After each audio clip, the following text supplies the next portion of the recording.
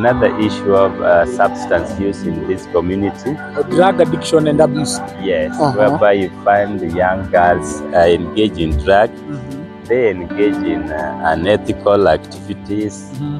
Morality like, is an issue. uh, early marriage, child, child right. sex work, Okay. and even uh, some are being uh, lured and trafficked to the Gulf region where they Oh.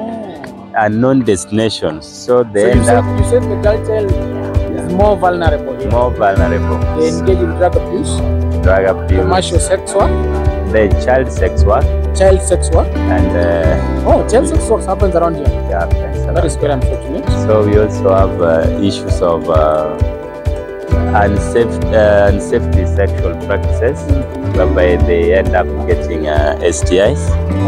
And, uh, infections. Yeah, and from slums, are those who are, do the trafficking of girls. Yes. Yeah, grown-up girls. They are Within taken here, there are those who traffic girls. Yeah, the are- area. the girl region. This is like So- their target region. their target region. So they end up there in uh, with unknown employers. They being brutalized. Some even die there.